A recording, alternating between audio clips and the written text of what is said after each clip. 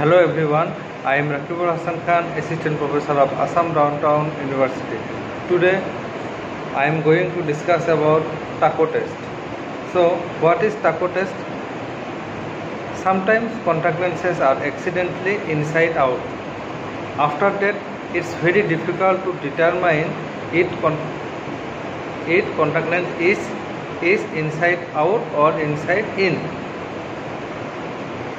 when we will feel like pain, irritation or other difficulties, that time we will think maybe contact lenses is in inside out.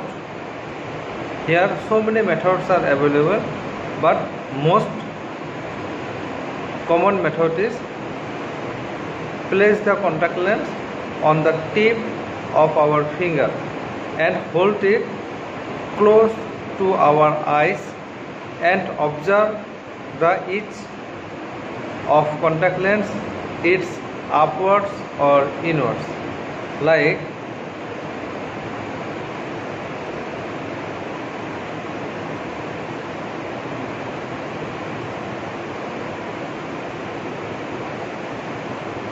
this is contact lens.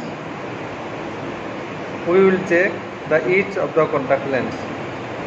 So this edge of the contact lens is we will check inside out or inside in.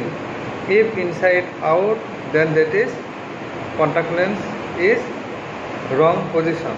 If contact lens is, is inside in then that is right position of the contact lens. So we will check like that. Close to the eyes then we will check thank you